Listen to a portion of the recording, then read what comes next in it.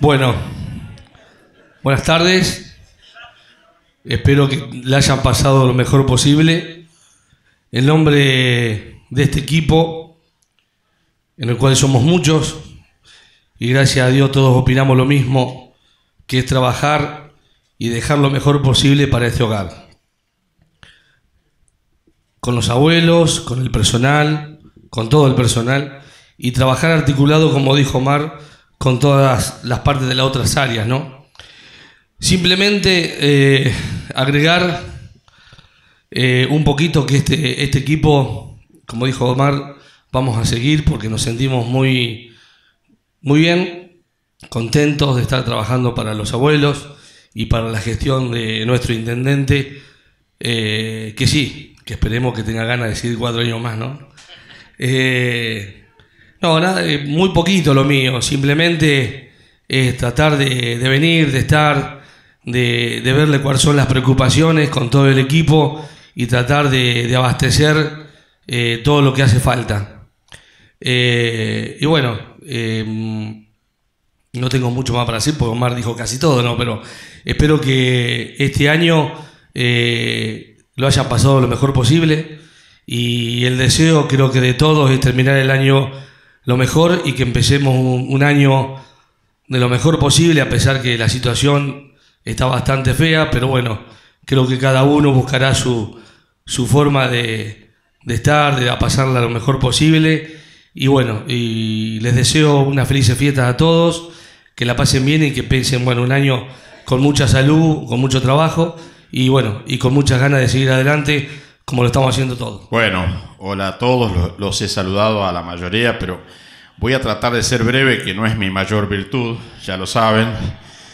Pero yo digo, después de, un buen almuerzo, los abuelos, los que hacen siesta, deben estar cruzando hasta los dedos de los pies para que no se alargue mucho la, etapa de los discursos. Pero la verdad que es un momento lindo, eh, hay, hay que decirlo sin protocolo, de entre casa pero, pero con toda sinceridad, un momento muy lindo el que estamos compartiendo. Yo siento culpa este, de, no venir más seguido, de no compartir más cosas. Lo, digo sinceramente, no es porque no lo desee, es porque uno vive este, de manera vertiginosa a las carreras, atajando como puede los compromisos y las cosas que hay que resolver y bueno, no, no, no, no mucho puede estar donde quiere, sino está donde debe estar, ¿no? donde lo imponen las obligaciones. Pero aprovechando este momento, quiero decir algunas cosas. Primero, no puede faltar el agradecimiento. Porque yo, más allá de la responsabilidad que me toca y de ser esta una dependencia municipal, en esta mesa soy una visita. Y la realidad que se vive aquí dentro, en esta, dentro de estas paredes, la construyen todos los días las personas, los que viven y los que trabajan acá. Ellos forjan la historia acá todos los días. Los que viven son los destinatarios de todos nuestros esfuerzos. Son el material humano valioso que queremos cuidar, al que queremos darle bienestar, darle la mejor estadía posible en esta etapa de la vida. Y los que trabajan a diario para eso son el otro pie de la institución. Son los que tienen que hacer realidad ese objetivo todos y cada uno de los días. Desde el lugar que a cada uno le toque. Todos son igualmente importantes. Por supuesto, Omar, que no tenés que agradecer. Yo te agradezco a vos haber tomado la responsabilidad y la rienda de esta institución sé que están en buenas manos, sé de tu don de gente y de tu, y de tu calidad de, funcionario, así que estoy completamente confiado y tranquilo en ese aspecto. Sé que estás continuando eh, la gran tarea que hizo Silvia, también al frente de esta institución, también una colaboradora en, la, en quien uno pone su, su entera confianza. Todo el personal, todas las chicas, todos, chicas y muchachos, todos, cada uno, desde el lugar que le toca ocupar, que dan, yo imagino, lo mejor que tienen, el mejor costado que tenemos que sacar cada uno para cumplir de la mejor forma este, el objetivo de darle bienestar a ellos. Así que sea los enfermeros, sea las mucamas, sea la, administración, sea la cocina, sea todo, sea todo, es un equipo, un conjunto de personas, un, engranaje donde cada pieza cumple una función, pero igualmente valiosa y necesitamos de usted y necesitamos de todo, de todos y todas, y necesitamos que lo hagan, como decía Omar, no solamente para cumplir con una obligación laboral, sino que lo hagan con amor, con verdadero cariño, con sensibilidad, pensando que cada abuelo que está acá puede ser nuestro padre o nuestra madre, puede ser un ser querido, de hecho lo es, pero quiero decir desde los lazos de sangre, ¿no es cierto? Puede ser un familiar nuestro. Pensando que todos, más rápido de lo que nos parece, vamos a llegar a transitar la vejez. Esto es algo que se aprende y se entiende mejor con el correr de los años. Recién hablábamos, con un, con un compartíamos la mesa y la conversación con un treintañero como Bagual, y yo le decía, tenés la vida por delante, cuántas cosas a favor, pero te doy una mala noticia, aprovecha porque todo pasa muy rápido y la vida nos coloca en otro lugar que todas las etapas son lindas, todas las etapas son importantes y a todas hay que encontrarle la vuelta para tratar de vivir lo mejor posible. Así que muchas gracias definitivamente para todo el equipo, los profesionales, Alejandra, bueno, la la dirección médica y de salud de Mariana, con la apoyatura del hospital, a todos, a todos. Es decir, identificarlos de a uno, el servicio social, eh, también está, este, eh, digamos, identificarlos de a uno es injusto, porque esto es así, es un trabajo de equipo, digamos, y si hay una pequeña cosita que seguro que la voluntad del resto la, la cubre y no se nota en el, en el resultado. Así que inmensamente agradecidos que sigan adelante con la misma vocación y también mi enorme agradecimiento a la cooperadora, porque también la institución necesita enormemente de ese grupo humano. Eh, yo, de por sí tengo eh, especial admiración por los cooperadores de todas las instituciones, pues yo digo, en estos tiempos de, de individualismo, de todo el mundo vive apurado, pensando en sí mismo, en los problemas, en el dinero, en el qué sé yo, la gente que deja un rato de su tiempo para brindárselo a una institución desinteresadamente, decir voy a ayudar, voy a colaborar, no espero nada a cambio, digamos, realmente tiene un valor superlativo, es un ejemplo a imitar y por supuesto que le hace mucho bien a la institución, en este caso a nuestro querido hogar. Así que muchas gracias por ese trabajo que llevan adelante también, esa apoyatura que trasciende lo económico. Este, yo digo lo económico, a lo mejor se podía sortear, pero el apoyo humano también es muy importante, me imagino, para los que están acá y afrontan los desafíos de cada día. Y para nuestros queridos abuelos, abuelas, lo mejor, lo mejor, los mejores deseos. Eh, siempre dije que, que esto tiene que ser un hogar, entendido como una casa grande, con todas las, con todas las connotaciones que tiene la, el hecho de ser un hogar. O sea, no tiene que ser un depósito de ancianos, no tiene que ser el lugar donde la familia pueda dejar bajo techo y atendido y desentenderse, en el caso de los que tienen familia, me refiero de un mayor.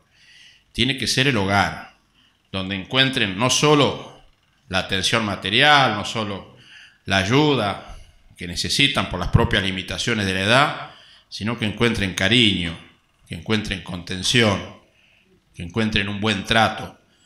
A veces la vejez se vuelve ingrata hasta en el sentido de que, como todos vivimos apurados, nadie tiene tiempo para escuchar las cosas que un anciano, que un mayor quiere contar y que necesita hacerlo y que necesita otros tiempos para hacerlo.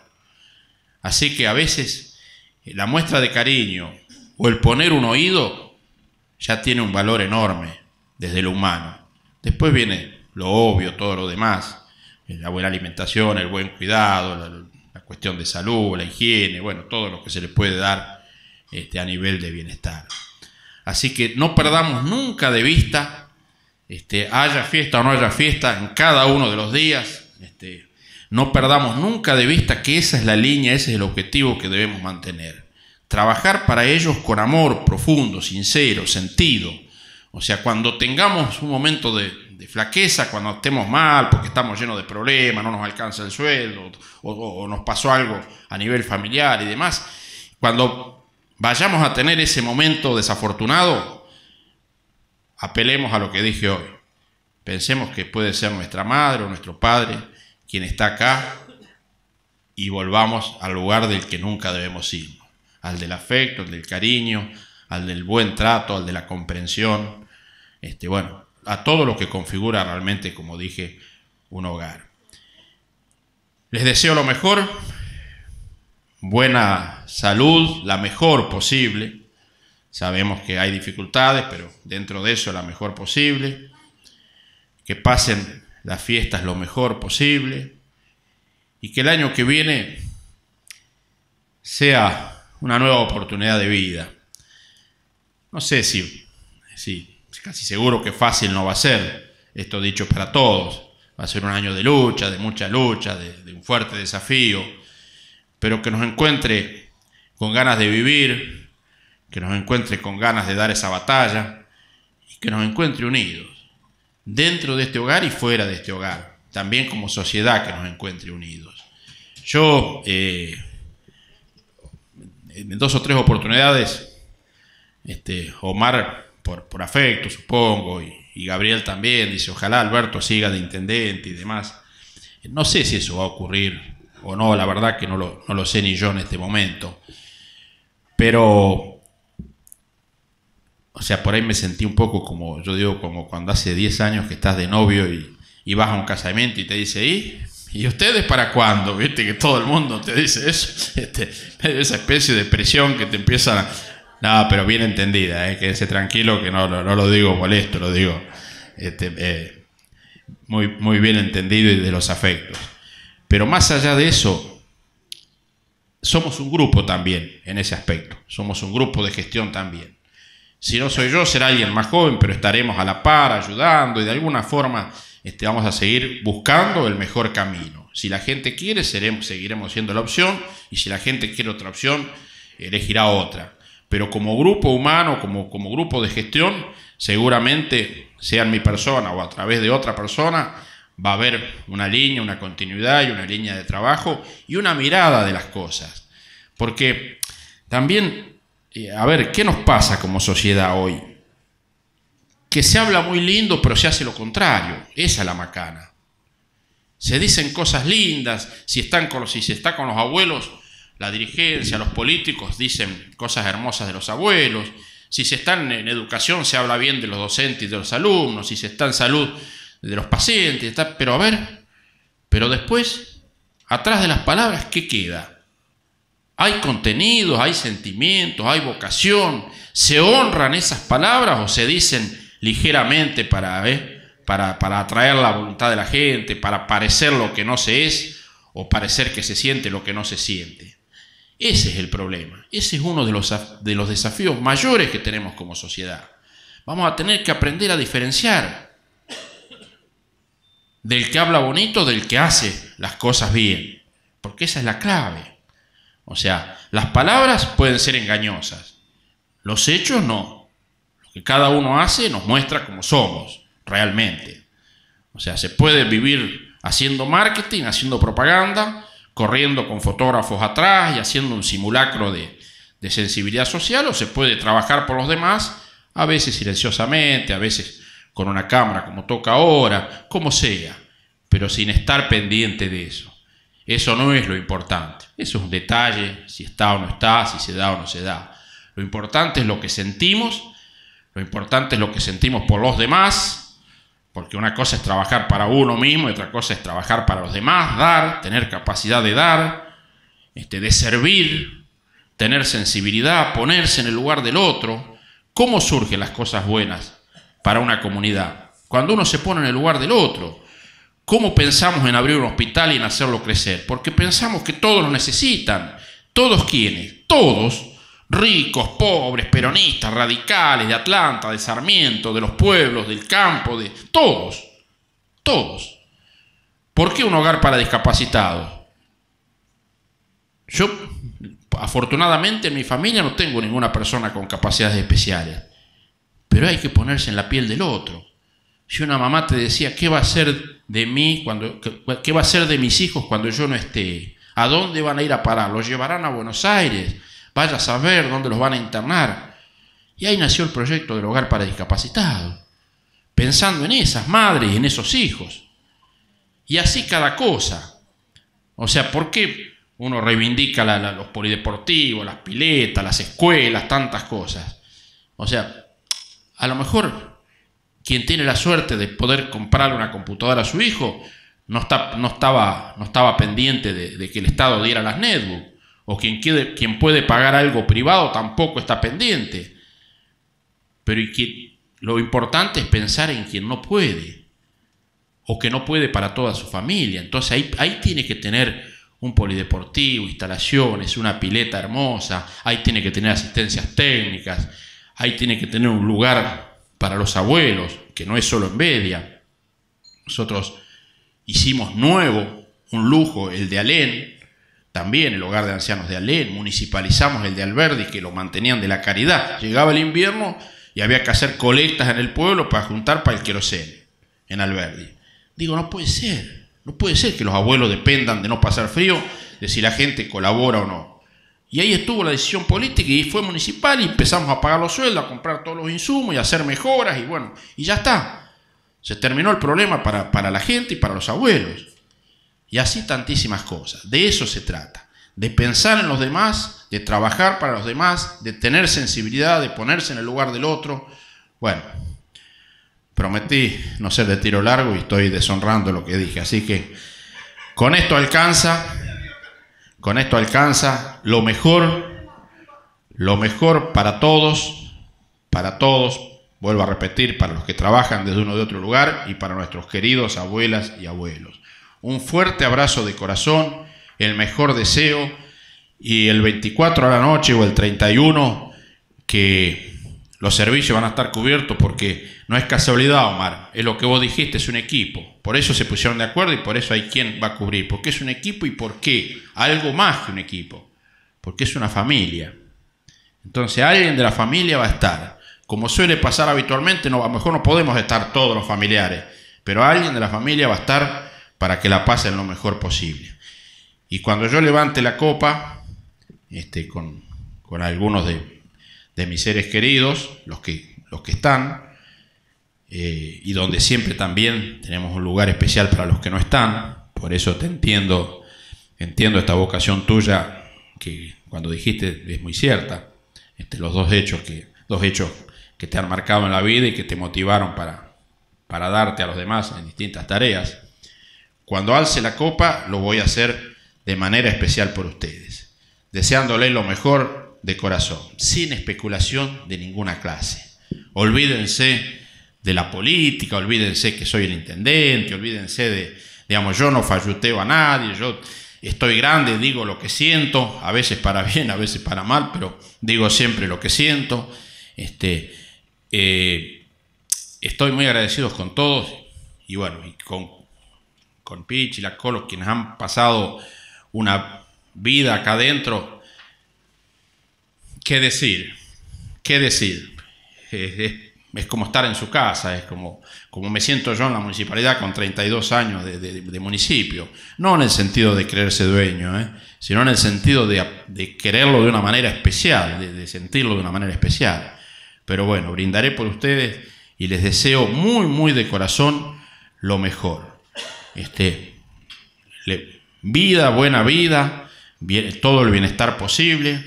Y, si un día necesitan algo que no le estamos dando, no sé, peguen el grito, díganle a Omar, díganle a un empleado, díganle, manden una notita, no sé, háganos, péguenos, un tirón de oreja, llámenos la atención y háganos saber que en algo nos estamos equivocando, que algo está faltando, que seguro es porque no nos dimos cuenta, porque fallamos, pero no porque no tengamos la voluntad de darle lo mejor.